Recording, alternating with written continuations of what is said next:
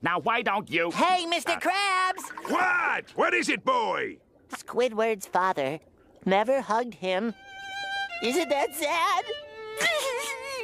Yes, I suppose that is rather sad, but Squidward can hug himself during his break. Now get back to work! Just like the robot in the movie, he couldn't cry either.